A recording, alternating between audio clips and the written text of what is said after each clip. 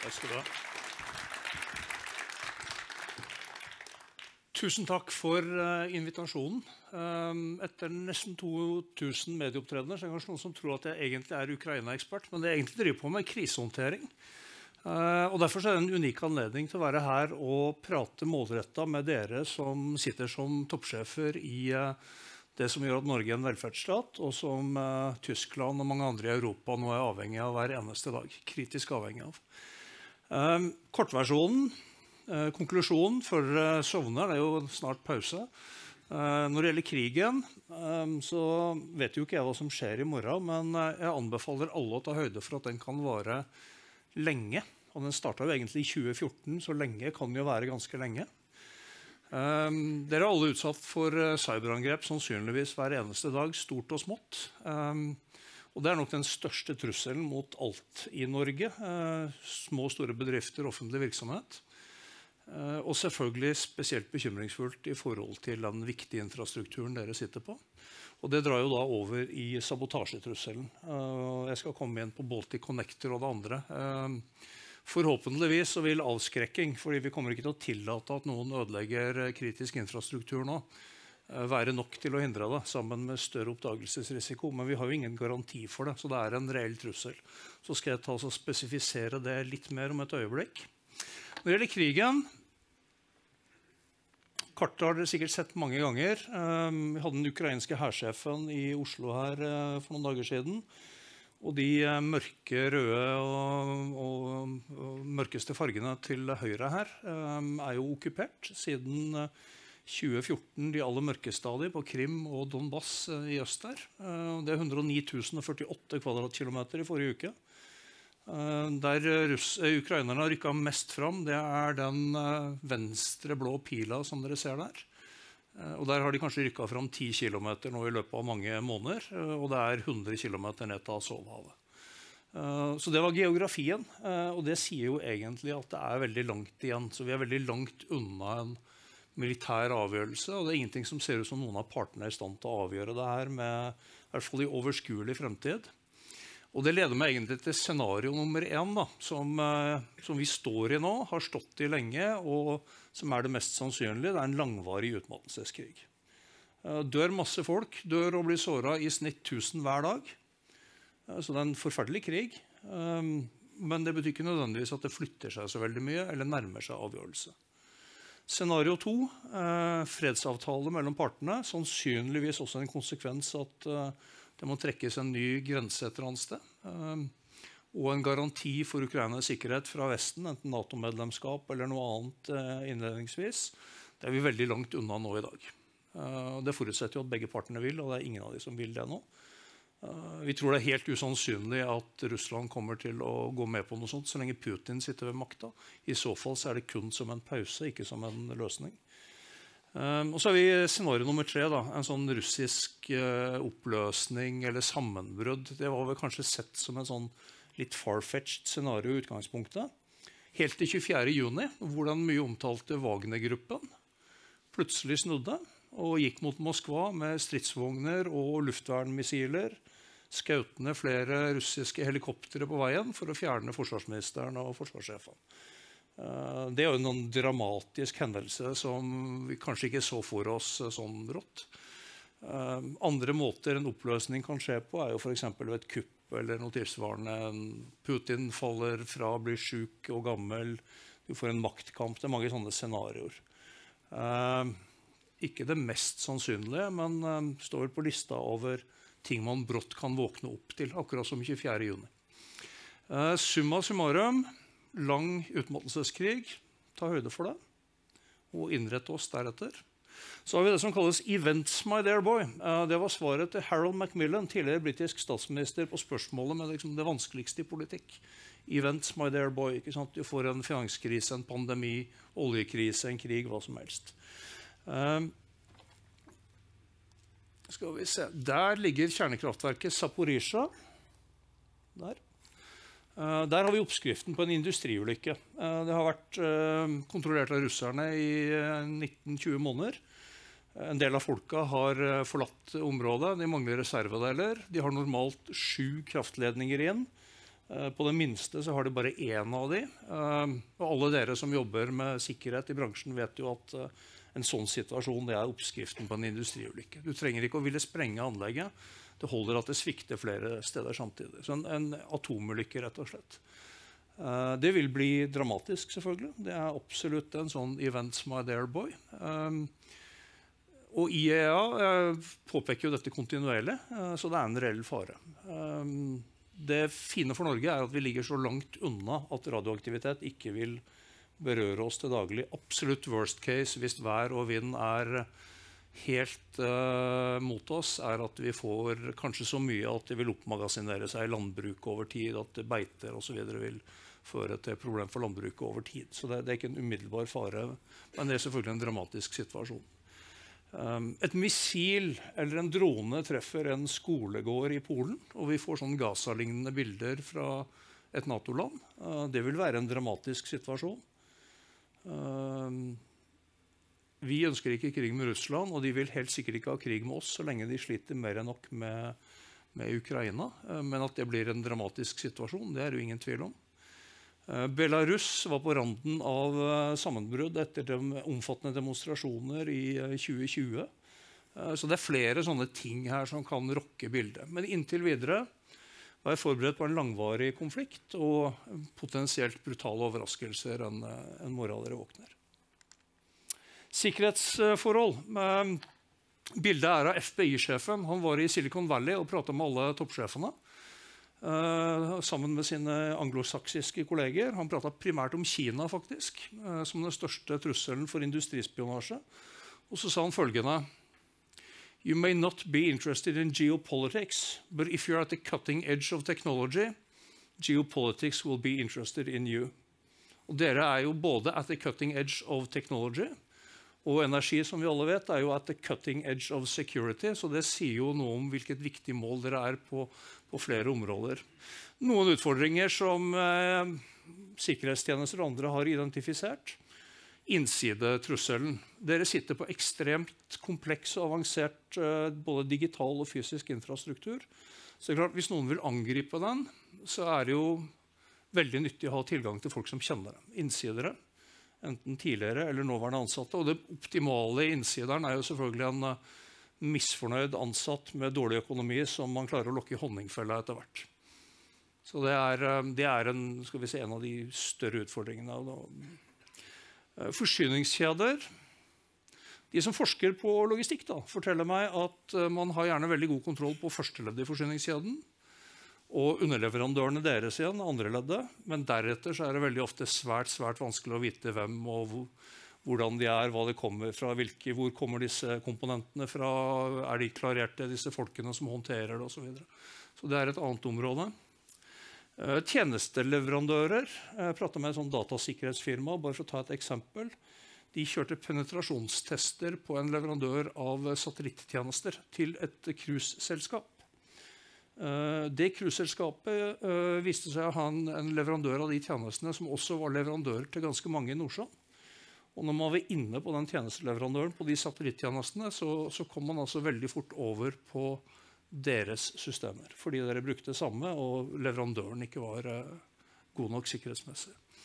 Uh, statssekretæren var inne på det med investeringer og oppkjøp. så det skal jeg ikke ta noe mer. Jeg spurte sjefen for, eller direktøren for Nasjonal sikkerhetsmyndighet uh, liksom ett poeng som hun ville fremheve. og det er at dere har gode sikkerhetsstyringssystemer. Det starter der. ikke sant? Og så har du da styringssystem for data og for fysisk og for alt mulig annet under det, men at du har et ordentlig styringssystem på toppen.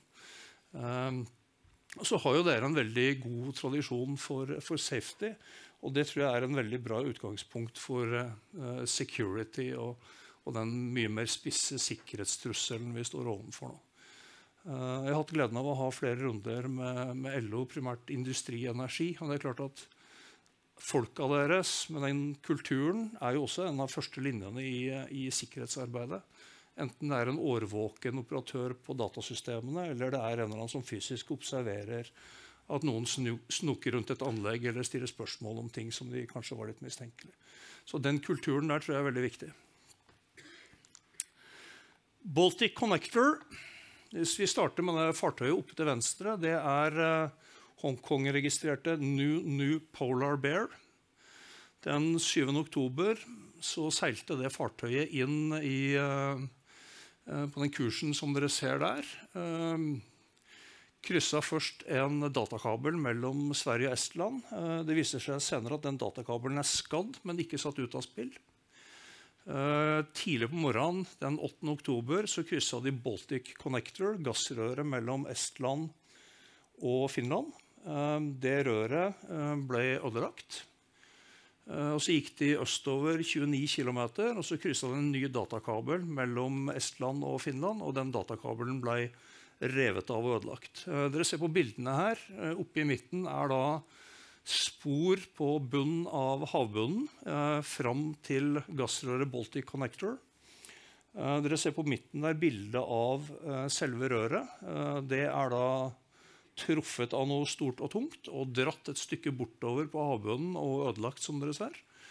Og nede så ser dere et anker um, som ble funnet bortenfor røret. Og dere ser også at det sekstonns ankeret uh, er skadd og mangler en del. Um, hvis dere ser bildet oppe til uh, venstre igjen på denne, Bolt, uh, unnskyld, Nunu Polar Bear, så ble det like etter fotografert i St. Petersburg, hvor de mangla fremre babordanker. Og det bildet nede til høyre det er da av den østlige datakabelen som ble dratt i retning St. Petersburg og etter hvert slitt av, som dere ser på bildet. Så det er liksom fakta her. Eh, finske myndigheter etterforsker dette som sabotasje. Eh, og det ser det jo ut som det er god grunn til å etterforske. Det Skipet forsvant for øvrig nordover langs norskekysten og oppover uh, nordlige sjørute. og Det er mulig at de har kommet gjennom den sjøruta nå. Uh, men de samarbeider, finnene samarbeider også med, med, Kina om saken. Dette er um, juvelen av infrastruktur i Europa. Hvis dette blir satt ut av spill, så vil det få dramatiske økonomiske og politiske konsekvenser i Tyskland og mange andre steder. Uh, vår Vestens første forsvarslinje er avskrekking. Og vi kommer ikke til å tillate at noen ødelegger den type infrastruktur. Da vil vi svare. Vesten vil svare. Vi kan svare politisk, juridisk, økonomisk, med cyber eller militært, inkludert å støtte ukrainerne med våpenutstyr som de så langt ikke har fått. Eh, den andre forsvarslinja er jo den jobben som E-tjenesten og Politiets sikkerhetstjeneste og allierte sikkerhetstjenester gjør hver eneste dag, og som også jobber ganske tett med bransjen og flere av de som sitter her. Akkurat som vi jobber for å avverge terrorangrep hver eneste dag. Den tredje forsvarslinja er det arbeidet dere sjøl gjør. Og det er også kritisk viktig, både under vann og på installasjoner og datasystemer og andre steder. Den fjerde forsvarslinja er det som norske myndigheter med Petroleumstilsynet, Oljedirektoratet og Kyst og sjø og toll og alle andre gjør. Sammen med bl.a. politiet. Og så støtter jo vi i Forsvaret den på områdene hvor vi, eh, politiet ikke har kapasitet, enten det er satellitter eller under sjøen eller med kystvaktfartøy og på andre måter Jeg skal for øvrig hilse fra sjefen for Sjøforsvaret. Han sier til meg hver gang jeg skal prate med sånne som dere, at jeg må liksom takke bransjen og alle andre organene som er involvert her, for det ekstremt gode samarbeidet som man i løpet av relativt kort tid har, har fått til. Eh, og det kommer til å fortsette. Det er selvfølgelig en høy prioritet, som, som statssekretæren var inne på flere ganger. Eh, hvis man skal angripe systemene deres Jeg har jobba med russisk etterretning ganske lenge. En, eh, en, med samme navn som en jeg jobba sammen med, ble arrestert i Nederland. faktisk. Eh, da måtte jeg begynne å google, men det viste at det var, en, det var, det var ikke min gamle kollega. Men jeg har sett litt på hvordan de tenker. Eh, det første spørsmålet som de sannsynligvis stiller seg, er jo hva slags effekt vil oppnå her. Skal vi bare skremme Vesten? Ja, da du, kan du angripe hvem som helst og hva som helst. Da trenger du ikke å gjøre så mye. Eller skal vi sette dette systemet ut av spill for lengre tid med alle de økonomiske og politiske konsekvensene? Da er det noe helt annet. Jeg spurte Jarand Rystad hvordan han vurderte liksom priskonsekvensene på det. Verken han eller gassfolkene hans var veldig kine på å gi et sånn spesifikt anslag. Men det er vel ingen tvil om at selv selv mindre anslag eh, som kanskje ikke har så store praktiske konsekvenser, kommer til å sende ekstrem uro inn i markedene. Eh, det tror jeg vi må være forberedt på. Man kan velge mellom fysiske angrep, sabotasje, sprengning eller cyberangrep. Og det er jo mengder av ting man kan angripe. OT, Operational Technology, altså styringssystemer, kontrollsystemer. Kontrollrommet til Gassco der. Um, det er jo komplekse dataangrep. Det er sånne dataangrep tar det kanskje år å komme inn i systemer og forberede og holde oppdatert hver gang dere kjører dataoppdatering eller bygger om ting. De er ekstremt ressurskrevende, men vi vet at Russland og andre har kapasiteten til å gjøre det, så vi kan ikke utelukke det. Man kan angripe administrative og logistikksystemer. Det er jo mer sånn klassisk dataangrep. Eh, du kan ødelegge rørledninger og annen fysisk infrastruktur. Det er klart Da bruker du gjerne sprengning eller fysisk ødeleggelse, som vi har sett eksempler på. Posisjonering, navigasjon og tid.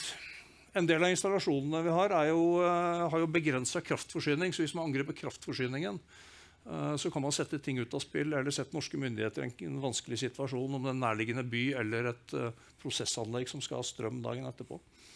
og telekommunikasjon, selvfølgelig. Så det er ganske mange mål her. og så er det jo selvfølgelig sånn at Cyberangrep er lettere å benekte enn fysiske angrep. Og fysiske angrep vil sannsynligvis av mange grunner føre til større reaksjoner. Og så tror jeg også ved fysiske angrep at man vil gå langt for å unngå å skade folk. For det vil selvfølgelig enda, føre til enda større reaksjoner. Men det er liksom uh, bildet her, uh, hva dere står ovenfor uh, i grove trekk. Jeg skal si et lite ord om Kina. det ble jo mye diskusjon i Dagens Næringsliv. Jeg skal ikke mene noe om den konkrete saken. Den tror jeg statsråden og statssekretæren har svart de fire partiene som har stilt spørsmål på, på Stortinget. Eh, men jeg tror det er veldig viktig nå eh, jeg kan jo si det siden jeg jobber med sikkerhet, at vi ikke bare ser på Kina som en sikkerhetstrussel, men det er faktisk en helt nødvendig samarbeidspartner. Alt annet blir ekstremt dyrt. For det første, det er helt åpenbart. Eh, det andre er jo selvfølgelig at hvis vi begrenser Kina på alle områder, så vil jo norsk næringsliv veldig fort begynne å merke svar fra Kina på det. Så det gjør det både dyrere og politisk vanskelig. Og tredje er det mer prinsipielle. Eh, vi skal jo ikke liksom begrense mer enn nødvendig. Og denne åpenheten som vi har hatt, har jo tjent Norge ekstremt godt, både økonomisk og på andre måter, i veldig mange år. Vi kunne prate om Kina og burde ha pratet om Kina hele dagen, men det får bli en annen gang. Eh, men det, det, har vi sett med den saken rundt Kosel. Det er i hvert fall at dere står ovenfor betydelig risiko for eh, omdømmeutfordringer og politisk innblanding. Det tror, jeg, vi kommer til å se mer av i forhold til Kina. Ikke bare hos dere, men egentlig på veldig mange områder. Ok, eh, Hvis man ser på TV, og sånn, så er det veldig lett å tro at uh, småbyer som uh, Bakhmut og Avdivika er viktig. Det er de ikke. Eller hvilken drone som falt ned hvor. Så Her er fire ting dere kan se på for å få et mer strategisk perspektiv. For det første politisk vilje i Vesten til å støtte Ukraina over lang tid. Eh, du skal ikke prate med ambassadører veldig langt sør i Europa før du ser at det er eh, litt mer krevende enn det du kanskje hører her hjemme. Eh, det andre er den industrielle krigen. Vi må rett og slett lage mer våpen og ikke minst ammunisjon enn det russerne med støtte av Iran og Nord-Korea og andre gjør. Ellers så taper vi og Ukraina-krigen. Det tredje jeg har vært inne på, ustabilitet i Russland. Der potensielt vi kan få overraskelser. Og så er det selvfølgelig forholdet til Kina. og Det er jo ingen global og viktig sak hvor Kina ikke er viktig. og Det er jo også litt av grunnen til at jeg sa det jeg sa i et sted om Kina. Det var egentlig det. Og så er det jo ingen land i verden som er bedre skodd til å håndtere det. da, Med en ekstremt god økonomi, et åpent samfunn med stor tillit og fysisk avstand til krigen på bakken. Det er et bra utgangspunkt. Så det dreier seg om hvordan vi skal håndtere det. Ikke at jeg skal lage dårlig stemning her før pausen.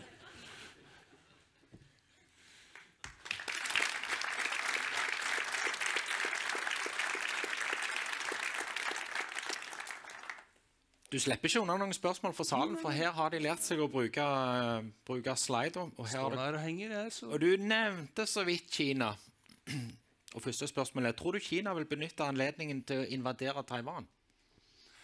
Hadde jeg visst det, så hadde jeg i privatflyet mitt reist jorda rundt og fakturert grovt for å svare på spørsmålet. Uh, nei, jeg, jeg, vet ikke. Uh, og jeg tror ingen av de som uttaler seg, egentlig vet. Og det er ingenting som tyder på at det liksom kommer i nær fremtid. Eh, jeg tror den viktigste måten å hindre det på, det er at vi sørger for at Russland mislykkes i Ukraina. For Hvis Russland mislykkes i Ukraina, så for det første så lærer russerne at det der vi gir oss ikke i Vesten. da. Så De prøver seg ikke igjen andre steder. så Bare i seg sjøl er det grunn nok til å lykkes med det. Og Det er jo det som er regjeringens politikk. ikke sant? Vi skal støtte Ukraina så lenge de vil slåss. Men det andre er jo at kineserne sitter og følger nøye med. Og hvis vi i Vesten ikke holder ut overfor Russland, så har jo de lært at de kan gå løs på Taiwan, og så kommer ikke Vesten til å holde ut der heller.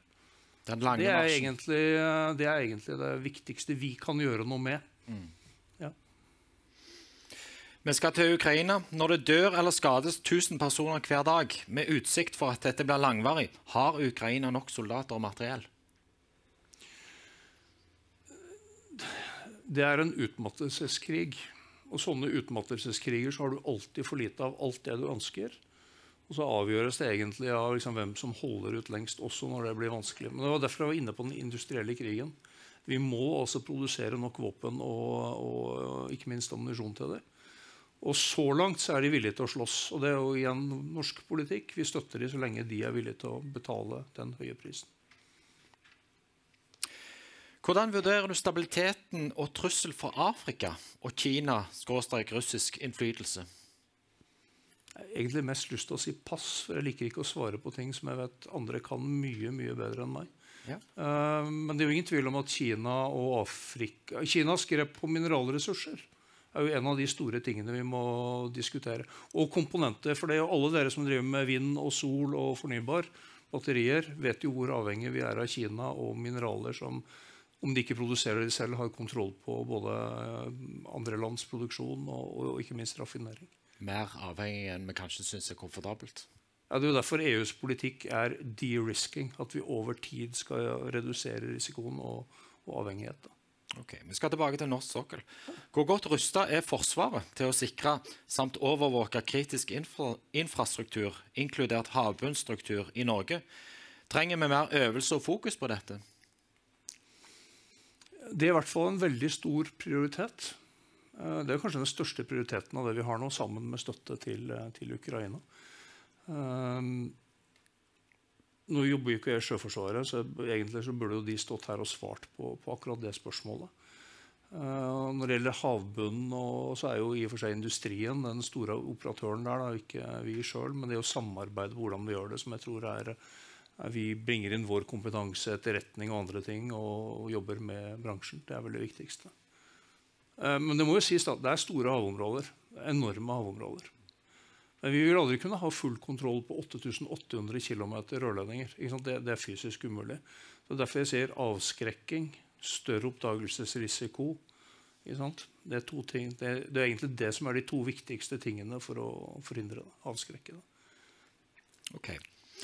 Da kommer det et som jeg eh, eh, kanskje må ha hjelp til å forstå. Kan du reflektere rundt det at oljerørledningen parentes, med det par paradoksale navnet vennskap parentes slutt, er intakt etter snart to år med krig?